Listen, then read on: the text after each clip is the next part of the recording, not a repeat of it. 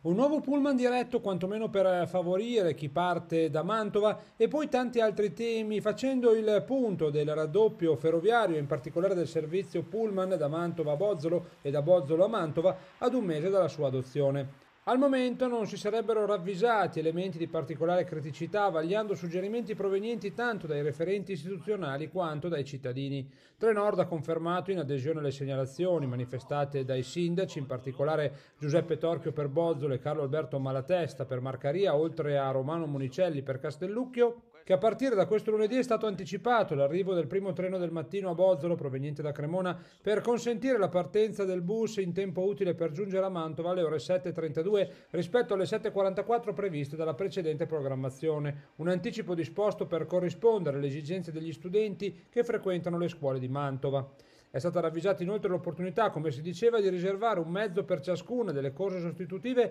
per il collegamento diretto Bozzolo-Mantova e viceversa, mantenendo per gli altri bus il percorso ordinario con tutte le fermate, in merito alla quale il referente di Regione Lombardia effettuerà le necessarie verifiche tecniche anche nell'ottica di valutare, sulla base delle frequentazioni, per quali servizi saranno mantenuti due o più bus contemporaneamente. Importante è il lavoro che si sta sviluppando per affinare l'esperienza dei primi 21 giorni, dice Giuseppe Torchio, sindaco di Bozzolo. In campo vi è la richiesta anche della città di Mantova di un collegamento diretto con Verona Peschiera, ma soprattutto il focus è sulla velocizzazione dei rapporti, delle relazioni tra Mantova e Bozzolo, vuoi con un bus diretto per accelerare i tempi, vuoi con una migliore organizzazione della fermata degli autobus.